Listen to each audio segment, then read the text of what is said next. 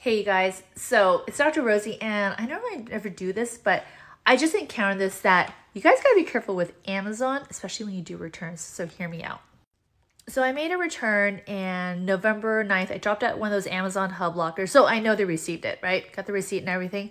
And I looked at my credit card statements and like I didn't see it. And the only reason why I'm questioning is because it was like almost $162, which is a lot. Okay, fine. So so I go through my account. I can't see it. I'm like looking, maybe they issued me a gift card. I don't know if you guys know, but sometimes um, they can issue a gift card balance instead of returning it back onto your original form of payment, like your credit card or your debit card.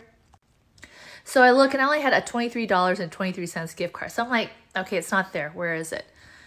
So I chatted with them online. So I'm going to screenshot so you guys can see.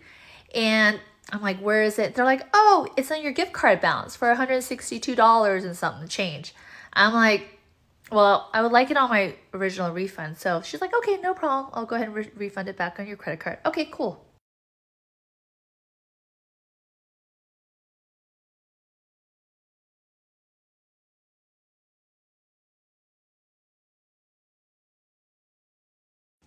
But then I question, I'm like, by the way, where would I have seen this $162? Like, I never saw this. How would I known about this? What if you forget these things, you guys? Like, sometimes we buy a lot of stuff on Amazon, return them, right? We forget so much transactions in and out, in and out. And then you guys can see the text. She's like, oh, don't worry about it. Um, I've issued the refund, so you'll see it in a few days. I'm like, like, what is it? Bitch, like, if I didn't question this, you guys can see, if I, like, how would I have known about this? Like, like, what? And she's like, don't worry about it.